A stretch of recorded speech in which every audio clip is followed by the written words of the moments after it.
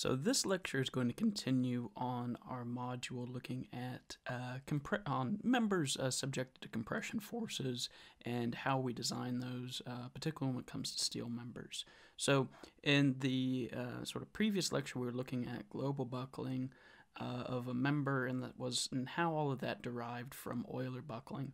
Now, if you remember from that lecture, one of the um, aspects which would limit um, our ability to reach the Euler buckling critical buckling load is if we under if the section underwent some local buckling uh, before it yielded.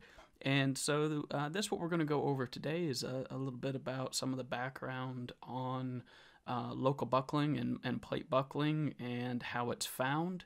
Uh, and how it's derived, and then how we use that in the uh, design equations. So, jumping right in, what you'll see here is I have a little diagram uh, of some plate. So, you know, this is a, a, plate, and I've got that it's simply supported on all four sides, which really means that it can move in and out and it can rotate, but it, it can't move up and down, sort of uh, out of plane at the edge. And, um, well, if we put some um, axial load N on there and push it together, well, uh, it makes sense. It's going to buckle. It's going to buckle in a shape like this, where you can see sort of the curved uh, lines there. Well, we'll buckle a whole bunch in the middle, and then you know sort of uh, spread out on on the edge, uh, down to where we are uh, supported along the edge. Well, um, it, for many things in design, we want to take this physical phenomenon and uh, use mathematics to write an equation so that we can utilize it uh, as a design tool. And so if you do that, you find that it's kind of this really uh, nasty fourth order differential equation. Uh, but if you go through all the rigmarole of solving that and you want to find out, well, what is this value n uh, at the point of buckling, uh, what you get is, is this sort of uh, rather large and cumbersome equation where the critical buckling load of this plate uh, equals n squared pi squared ei over n squared 1 minus Poisson's ratio squared plus 1 plus 2 ml over nb, whole thing squared, ml over nb to the fourth, where um, m is the number of sine waves or half sine waves, so think of that as sort of these bumps um, across the width of the plate. So what's drawn here is just sort of m equals 1, uh, and n is the number of half sine waves uh, along the length of the plate. And so for uh, what we've drawn here, uh, both m and n equal 1. So uh, loads are really good when we're looking at uh, sort of something from a member perspective, but when we're looking at a cross section, uh, it's really easier for us to think about things in terms of stresses. So you think about, uh, you know, if you're designing a beam and bending, you look at the maximum compression and tension um, tensile stress, which uh, is the member is subjected to, and you can and you compare that back to some limit. So uh, while you know critical buckling loads are a useful place for us to get started, really what we care about are these stresses. So well, how do we go from a load to a stress? Well, really, we just divide by the area. So the area in this case of this plate is the width of the plate uh, divided and multiplied by uh, the thickness of the plate. So it's just B times T. So if we do that, um, and we go really from a, a, critical load to a critical stress, uh, what we'll find is uh, is exactly what we're doing, just n over uh, the critical buckling load uh, divided by the area of the plate. It's going to equal um, this formula over here, this k pi squared times e over 12 1 minus uh, Poisson squared um, multiplied by this t over b ratio squared. And so, you know, what's this k factor? Well, this k factor uh, is essentially just a, it's a nicety on helping us deal with different boundary conditions. So uh, we call it this uh, buckling coefficient, and it can equal um, a couple of different things. So, and it's dependent really upon uh, what our boundary conditions are. So k equals 4 if we have all four sides simply supported. So similar to what we have uh, represented up here. But where would we find that? Well, I've drawn a, a little example for you there where um, uh, this would be like if you have uh, yeah, the web of a um, uh, of a compression member. So say we have you know the force pushing in this way uh, along the the length of the element. So I'll just you know, draw that in there in, in pencil. So say you've got your force N coming in here. Well, if we were to take a little slice of this web out and, and look at the stresses and sort of model it like what we've done up here at the top, well, it makes sense that you know the top and the bottom are are simply supported; they're connected. Well, that's that's exactly where um, the web connects to the flange, so that makes sense. Uh, but what about longitudinally? Well, think about you know this little slot that's getting cut out. You know, there's some distance uh, dx uh, along the length of the member. Well, the uh, the remainder, uh, well, the the remaining sort of supports are the re- are the other portions of the web here. So uh, that's how we we sort of come up with this. You know, four sides simply supported. Two of the sides are coming from the connection to the flange, and two of them are coming to the connection to the rest of the web. And really, what we're looking at is we're modeling this single. You know, if this m, uh, which is the uh, number sine waves sort of uh, across um, we're really sort of simplified this equation down to both m and n equaling 1. So we're looking at a single sine wave and uh, treating that like a node. So, I mean, if you had yourself a, um, a sine wave here, well, you know, you could treat uh, these points between each half sine wave is sort of like your, your little member. These are your nodes, these are your points of zero um, out of plane movement. And that zero out of plane movement is kind of exactly what we're talking about here uh, with this simply supported condition.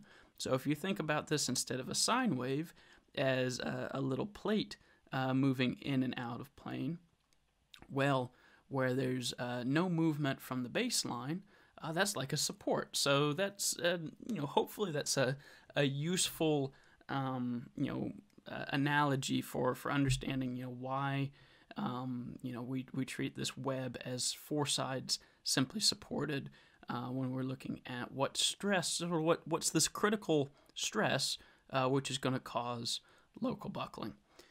Uh, the other condition which we have is when we have one side free. Uh, so again, if we've got our uh, load uh, being applied uh, down the axis of the member, and we look at just the flange, well, um, just like we said, you know, with this uh, sine wave analogy, uh, two of the edges which are supporting are just the remainder of the flange. And the third side is the connection between the flange and the web. And then this end, just here on the end, uh, is free. It's just floating in air. So, I mean, if you think about a support as, you know, inability to move uh, in and out of uh, the plane of the member. So I guess uh, you know inability to move uh, in the direction of the, the thickness of the member. Well, that makes sense. You know this this flange here can you know, can undergo a little bit of a, a local buckle like that, and it can sort of we can develop these ripples along there. And so that's what we're looking at. And so if we have this condition, well, we use this buckling coefficient factor to determine our critical stress. Instead of using 4 for our um, all four sides simply supported, we use 0.5. And so let's just take a, a moment to think about well, what is the consequence of that? Well, uh, we're going to be something like eight times, uh, will be a, a stress which is eight times lower will buckle when we leave one edge unsupported, which should make sense intuitively. I mean, if you have, you know, all four sides connected up and you're squashing it together, um, it's going to be really hard to get that shape to buckle. I mean, you can try this with a, you know, if you take a piece of paper uh, and you try to squeeze everything together, well, you kind of, you kind of can, uh, but it, it's it's hard just even to get the uh, the geometry to work.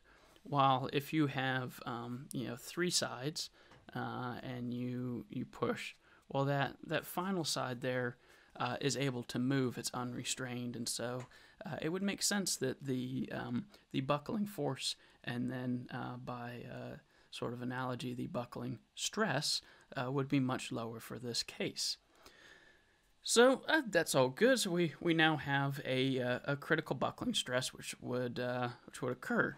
Um, that's somewhat useful, but you know what do we you know how do we how do we deal with that? Um, is there anything more that we need to know uh, before we can start designing uh, our steel sections for uh, compression loads? Well, the the other sort of interesting bit is how um, if if we do initiate buckling, um, well, how do we account for uh, the ability for the uh, the members sort of redistribute stresses? So before we we duck into that, let's just think about this um, uh, buckled shape here. And so think just about this line first. Well, as this wants to buckle out, so think about this line's trying to move out of plane of this surface. Well, the rest of the material here is trying to, you know, sort of pull it back down. And what's going to happen is we're going to develop these little tensile stresses um, perpendicular to the uh, um, direction of buckling. So I'm just going to draw them here in pencil, uh, just as these little arrows uh, and remember, they're just pretty much coming along the line there. And what's happening is, is as that's trying to buckle out, those trying to push it back down. So it's like a uh, uh, like a like you know if you're strapping down a, a tarpaulin over um, a vehicle and it's going down the road, well the air pressure wants to lift that tarpaulin, and then the uh, the straps you've put across it are trying to pull it back down. You know this is the same sort of thing, but instead of sort of these individual straps, uh, this is a, a, continuous surface. And the uh, consequence of that is essentially means that we can, if we buckle here, we can redistribute stress around, and in fact, we can take advantage of that and get a higher. Um, basically, our, our structure can, or our, our little plate element, uh, can take a larger um, stress than what is uh, sort of original at um, you know, this onset of critical buckling.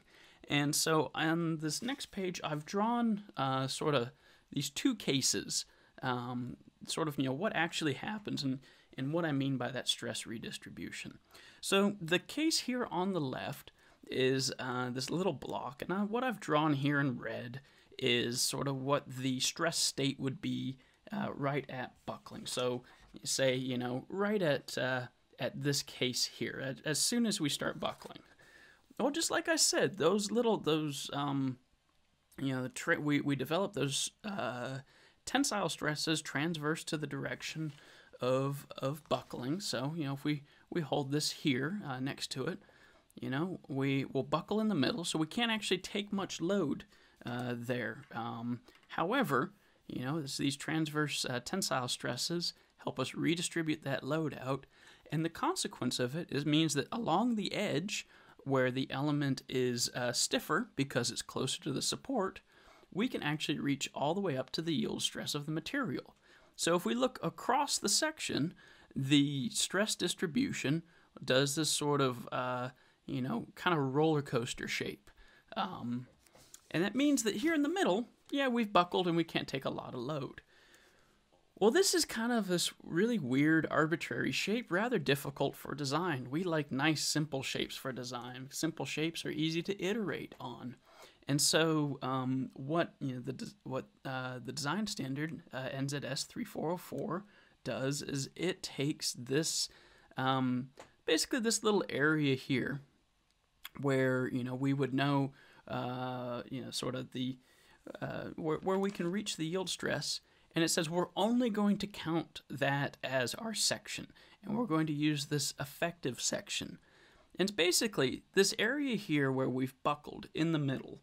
Um, so if we go back to our original, if we go back to our original diagram, it, it's this very middle area here. We discount its capacity. We pretend like it's not there, and we're only going to use uh, the portion here on the edge. And so that's uh, that's exactly what we do here. And you can see that we have our effective width. We essentially split it into two parts for the two edges, and um, we take in, instead of b, we take b uh, b sub e, be, our effective width.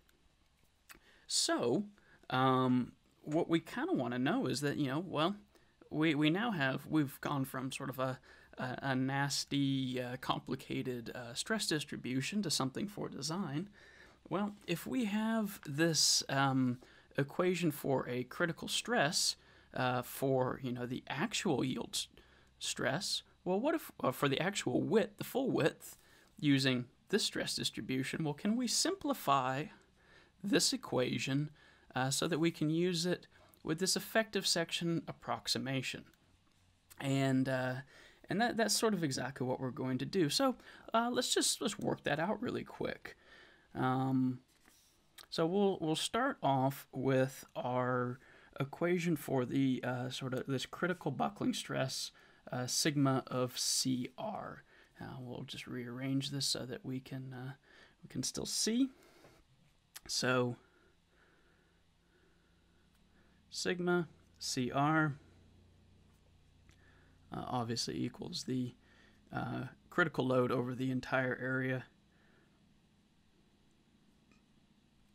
uh, divided by the area B times uh, T and that equals K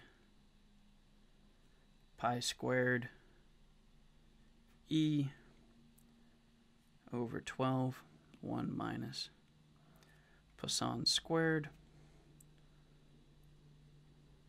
t over b squared. So we just transferred that over from the first page that we looked at, just so it's here uh, as we're going through our calculations. Now, if we want to um, uh, essentially go in and replace uh, this b with this b sub e, uh, what we're going to, and then we want to look at, instead of, um, you know, we want to be at b sub e, and we want to look at, you know, what is the, if, the, if our critical stress equals our yield stress. So we want to go from here to here, and essentially, and just as a reminder, all we're doing is we're just essentially just fiddling with this equation so that we can discount this middle section and get uh, an equivalent, if you would, sort of, um, you know, more or less an equivalent area uh, between sort of, you know, here and here. It's a, it's not quite an equivalent area, but it's maybe a good way to think about it, where um, we're, we're just going to discount the middle. That's the big thing to keep in mind. Uh, the effective uh, section uh, discounts the middle because it has buckled. So, um, you know, for the effective width,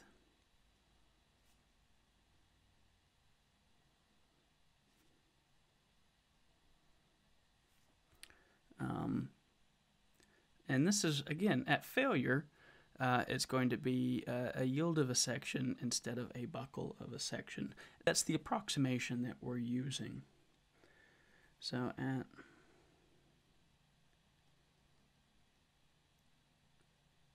failure, and I'll put failure in quotes here, um, sigma CR equals sigma Y with the effective width. All right, well, let's just plug um, this into the equation, and then what we'll get if sigma CR is going to equal sigma Y, well, let's just say sigma Y equals K times pi squared times E over 12 times 1 minus Poisson's squared uh, times t, and now instead of b, we'll use b sub e squared. All right, and um, basically, if we, you know, if we look at these two equations, well, what this gives us is really a ratio between, um, you know, if we, we need to figure out some way to, to determine what this width um, b sub e is. And if we look at these two equations and we do a little bit of algebra, uh, what we find is that our ratio of um, effective width over the actual width equals um, b sub e over b and um, that just equals the critical buckling load divided by the yield load square root. So this is this is quite useful. I mean, we we have terminology. We've got equations in order to find this critical buckling stress. Our yield stress is uh, you know just a material property. Uh, we know the width, so we can determine what this um, this effective width b b sub e is now. Um, and then uh, an- another thing which is sort of useful to see, uh, looking at this equation, is that really, you know, b sub e is only smaller than our original width uh, when our critical buckling is smaller than our yield stress. Um, you know that that should make some sense, right? You know, if um, if we were to yield uh, long, so say the material was really uh, really soft, um, and we yielded the material long before we buckled it. Well, we'd actually we could just take advantage of the entire width. We wouldn't have to worry about this effective width because um, you know, we, we would have yielded before we buckled. But, you know, as I've drawn it here, our yield stress is much higher than our critical buckling stress, and this is why we need to use this um, uh, sub E. Um, and so, you know, this, you know, all of this phenomenon, all of this buckling is really based upon, I mean, if we, we look at this equation, well, this is a boundary condition, uh, that's a constant, that's a constant, that's a material property. Uh, Poisson's ratio is a material property. Really, the only thing which it is dependent upon is um, our thickness and our width. So it'd be a lot nicer to try to get this equation in terms of some ratio of our thickness to width, some some slenderness ratio. And so um, uh, that's that's what we'll do. Or let's just try to rearrange this equation so that instead of you know looking at it in terms of y, uh, we look at it in terms of b and t. And the reason that we want uh, of instead of um, sigma y uh, with terms of, of uh, thickness and the width. And the reason that we want to do that is when we're designing members. Uh, the thickness and the width is something that is uh, easy for us to change. material properties uh, so the yield strength and uh, the the stiffnesses are are kind of locked in. There's only so many structural materials which we can buy, and um, so these properties are a lot more limited. However, you know, thickness and, and width of steel plate um, is a is a very arbitrary uh, and gives us a lot of flexibility. So this is why we want to go from uh, our our equation in terms of yield stress, uh, in terms of uh, basically think about it uh, like a uh, slenderness limit. So um, let's just do that. Um, just go re arrange in terms of B sub V and T. Um, in fact, we'll just we won't even do B sub V. We'll just do it in terms of B for right now. Um, uh, it's getting a little bit messy. We'll just go of uh, T and B. There we go. So, um, if we do that and we, we go through the algebra gymnastics, uh, what we find out is that our uh, B over T ratio uh, has to be equal to K pi squared E over 12 times 1 minus Poisson squared sigma y. All of that take the square root. Well, uh, let's you know we're, we're working with we're you know this this is a, a course looking at steel design let's plug in you know some of these constants for um, you know say a um, uh, a, a, typical steel so um, if we do that and we look at say you know if E equals 200,000 megapascal uh, Poisson's ratio equals 0.3 and our yield stress uh, let's use 250 MPa. The reason that we're doing uh, 250 instead of say 300 or grade 350 is because what I want to show you is um, what we have here is a slenderness ratio and the um, uh, the design standard is really all uh, in terms of determining whether we're going to have local buckling or not. It's all built around uh, these uh, slenderness ratios. So uh, what I'd like to see is if we, we plug in uh, these properties and then our k values for, you know, whether we're looking at, say, a, uh, a web or a flange, I want to see, well, how close are they to what's in our design standard NZS 3404?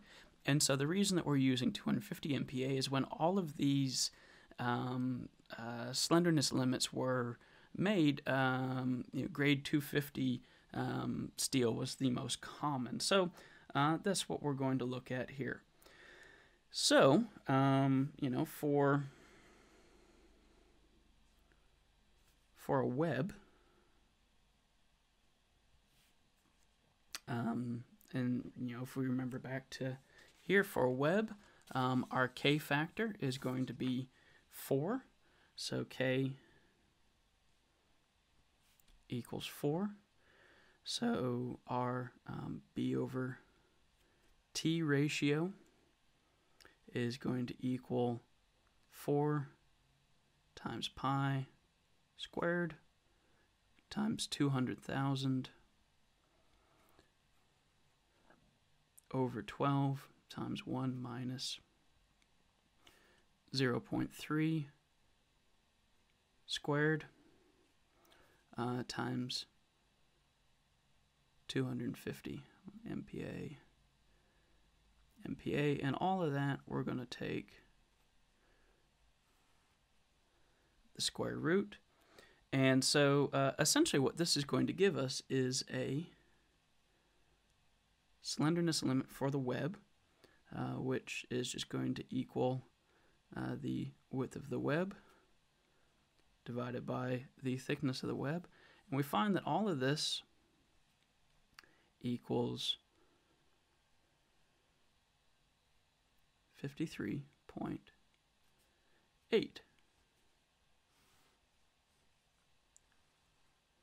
So let's take a let's take a quick moment to you know think about well why um, you know, what does this what does this mean? Well, uh, this means that if you have a uh, a web um, where your slenderness, so say your your thickness, uh, so your width over your thickness is um, less than uh, this limit, well, then that means that you're going to squash uh, before you buckle. So you're you're going to have this, uh, you know, you know basically what's written up here is going to be inverted.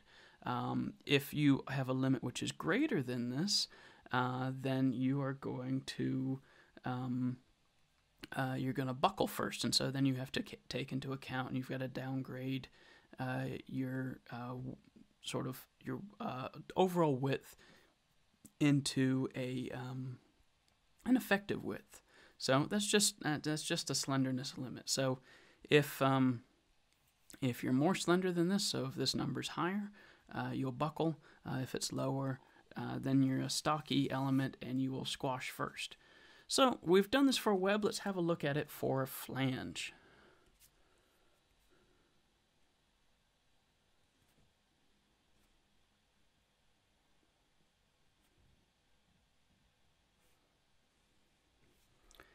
So if we look at for a flange, um, and we go back to, you know, when we were first looking at these k values, uh, we see that for a flange, our k equals uh, 0.5. And so um, what we end up with is um, with the flange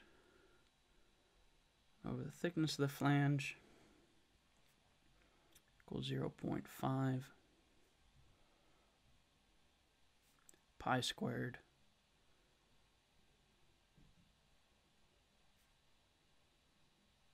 times 200,000 MPa divided by 12 times 1 minus 0.3 squared times 250 MPa. And if we work all of that out, uh, we get a uh, lambda f equals b sub f over t sub f equals 19. So uh, I guess what I want to do now is look at I want to compare these limits, which we've which we've derived just now, um, these slenderness limits uh, for our web and for our flange, uh, with what's in um, the New Zealand standard. So let's just do a little little table of um, slenderness. limits. Uh, we'll do, uh, this will be our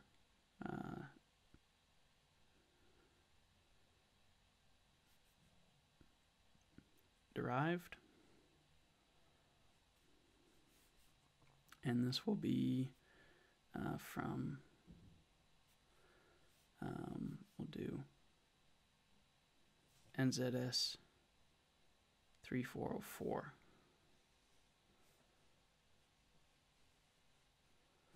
and we'll do first uh, the web and then the flange.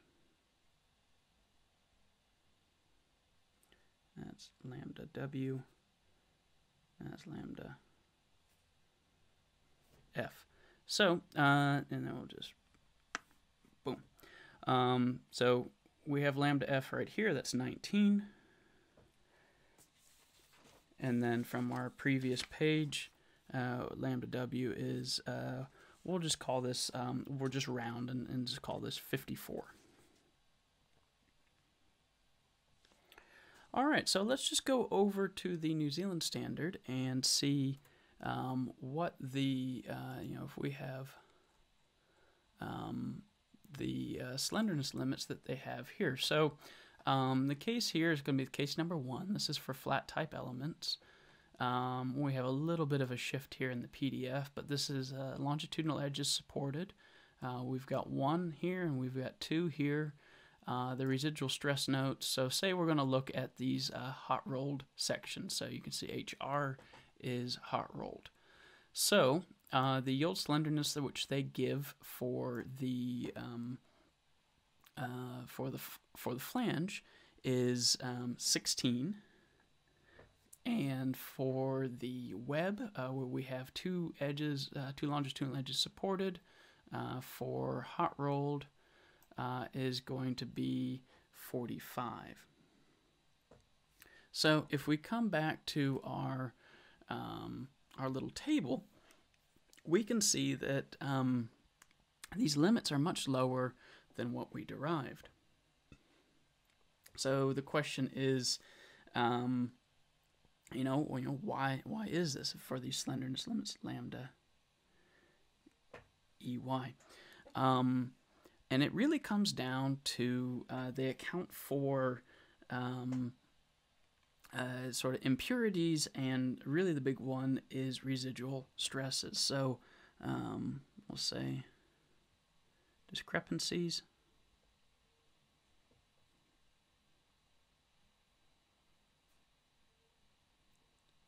with lambda EY in NZS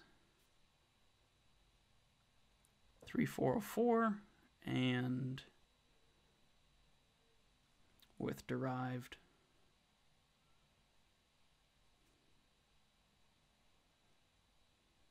values is due mainly to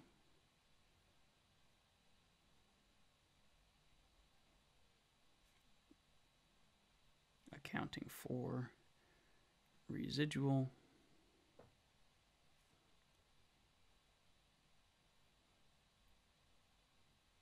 stresses.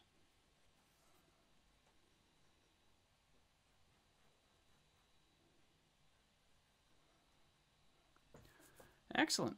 Well, um, yeah, and that that's that's essentially you know what we're going to do uh, as we use these in design is um, we're going to you know for for a given you know I section, uh, we want to find what these slenderness limits are. Find out um, you know for above if a if a given uh, plate element is uh, above or um, that uh, slenderness limit means it's more slender, means it's more likely to buckle. Um, if that's the case, then we need to downrate its uh, capacity uh, using this effective section. If it is um, uh, below these limits, it means it's a stocky section and it is more likely to buckle. So uh, the last thing that I want to look at here is just really uh, how, you know, just run through a little bit of the application of uh, NZS 3404 for compression members. And uh, just really as a brief overview and kind of just drive home uh, a little bit of how we're going to use what we've just derived. So um, let's go application.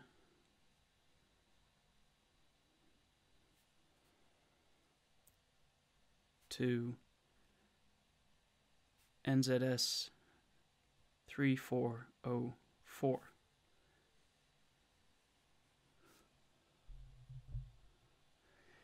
And um, if we if we look that up for the section capacity, uh, we'd have n star. So our demand has to be less than or equal to phi ends of s, and you can find this in ZS3404 in section 6.1. And, um, you know, phi is just going to equal, this is just our strength reduction factor, so phi is typically uh, 0.9, and n of s equals um, kf uh, times the net area times uh, the yield stress. And so um, this Kf is what is called the form factor.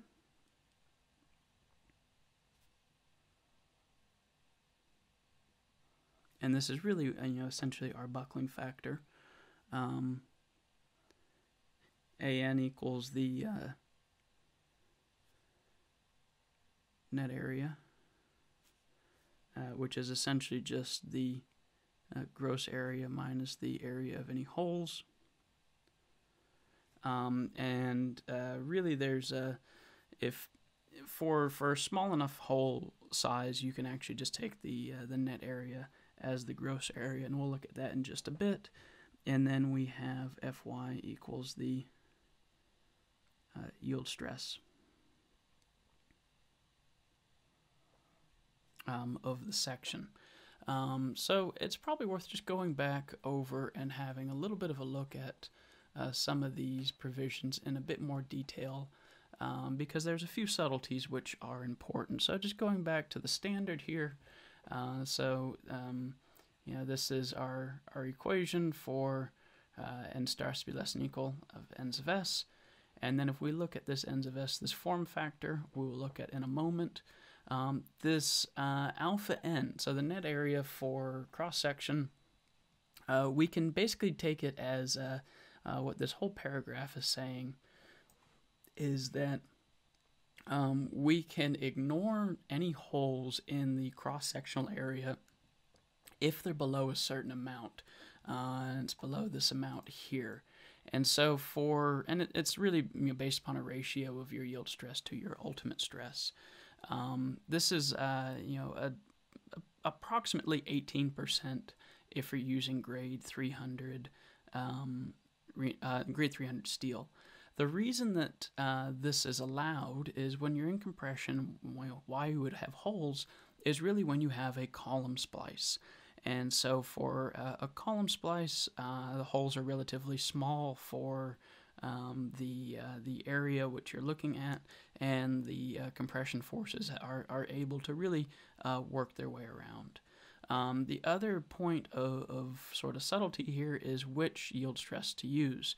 Um, if you remember, you know, in um, New Zealand and Australia, where the uh, yield strength of a material is dependent upon its thickness, um, typical I sections, so UBs and UCs um, in uh, in New Zealand and Australia have different thickness flanges from the web. So, uh, which do you use? Well, uh, the standard gives you two options. You can either use uh, the minimum yield stress, or you can take a weighted average. So, based upon the area of the um, you know say uh, of the flanges versus the web.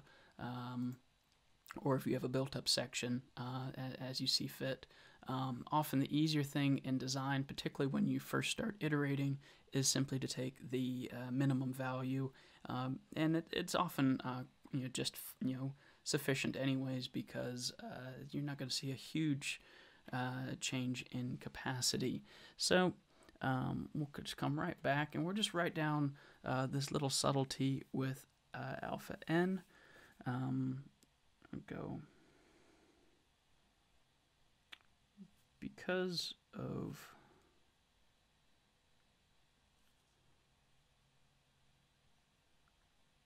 column splices an equals ag if the area of holes is less than approximately 18 percent AG for grade 300 steel. And we'll just put that little note. And you know, for those of you who might be confused by what I mean about a column splice, um, it's essentially so if you have because um, you know steel is made in in a fixed length, and um, you know it's uh, buildings tend to be taller than uh, steel is made. Uh, and even if you don't have your steel uh, made to that, or even you can get your steel made longer, uh, you still have to transport it to, to site. And so, say you've got a column coming in from the top and a column coming in from the bottom. Well, like I said, you know, steel is a fixed length, so we have to join these uh, pieces together. And how do we do that? Well, you know, one way is just set them on top of each other. Uh, that's not a terribly stable way to do it. And so instead, uh, a splice will get made where there'll be a plate um, which joins the two, and it is typically bolted on site. And you might have, uh, depending upon the demands, you might have plates on, you know, both sides of the flange. You might have them on the web. And um, this is why you, you're going to end up with holes, even if you have this element in compression. Um, and so uh, that's what you know this little note is here to help uh, help you navigate that and take full advantage of your capacity. All right, so uh, just backing up uh, just a just a little bit, we we've looked at um, alpha n and fn. Uh, what is this k factor? Uh, it says k sub f. So k sub f, this form factor, uh, simply equals our effective area over our gross area, and that's just NZS 3404 6.2 dot two. And this is where we uh, account for local buckling.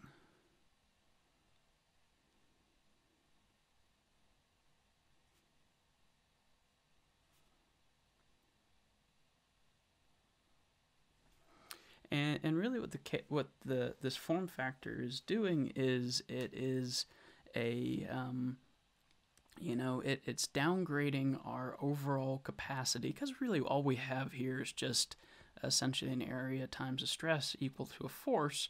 Well you know if we uh, if we buckle uh, before we can get to that full yield stress uh, that we have here well we need to account for that. So uh, the way that we determine this um, uh, effective area.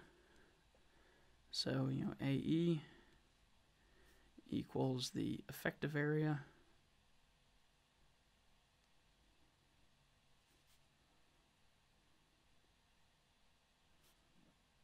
of the section and A sub E uh, simply equals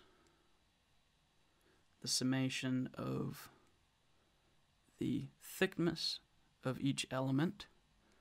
I guess we'll go from i equals 1 to n um, times uh, the effective width of each element. And so, um, and the effective width, B sub E, simply equals uh, the width of the section times lambda EY over lambda E. All has to be less than or equal to B. So that's a that's a lot of letters and um, and, and fancy equations, but you know what does this what does this mean? Well, it means that what we do is we go element by element of a given uh, cross section. And we look at the width and the thickness of that element um, relative to these slenderness ratios from the standard.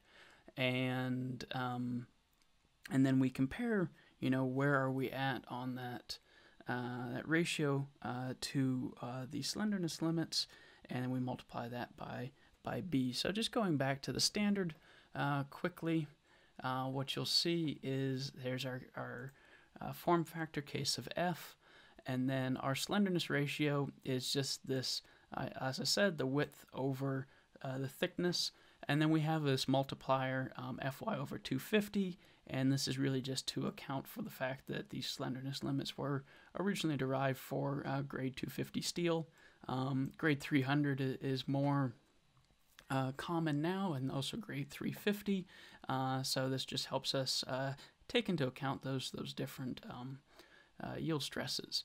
And then um, in looking at the effective width, like I said, uh, we will compare this um, lambda e uh, to the appropriate lambda ey for whether it's a flange or whether it is a web. And then based upon if we're lower than this limit, great. Uh, then uh, we're going to um, uh, we're, we we're going to squash before we um, we yield, and that makes sense too. So if lambda ey is less than uh, if lambda e is less than lambda ey, so if this b over t, uh, say if we look here, it's like our b over t.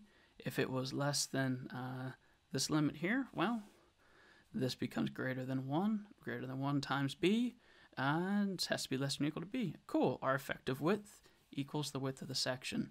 Um, however, if we're more slender, uh, you can see that we're just going to reduce down our effective width simply by that ratio of where that slenderness is. And so um, lambda ey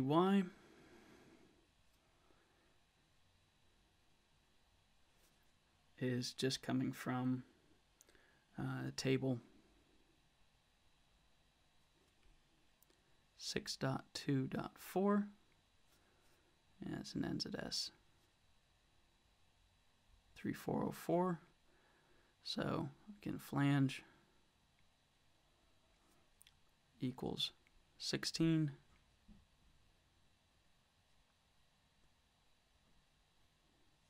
web equals 45.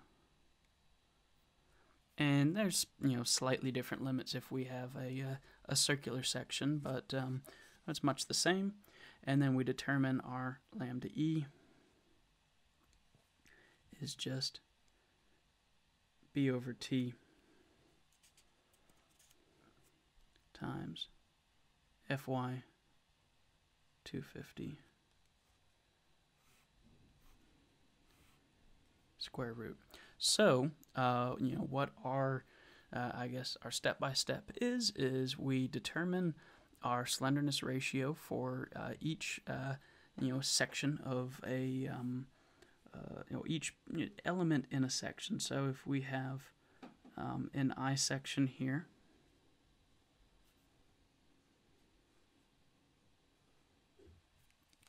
we would determine our slenderness ratio first for the flange, um, and then we would compare it to our limit, and then get work out an effective width, and then we'd work out our slenderness limit for the web, compare it to our limit, and get an effective width, and then we work out our effective area, which is just the sum of each of these uh, thicknesses times the effective width. Um, compare that with the, the overall gross area of the section. That gives us our form factor.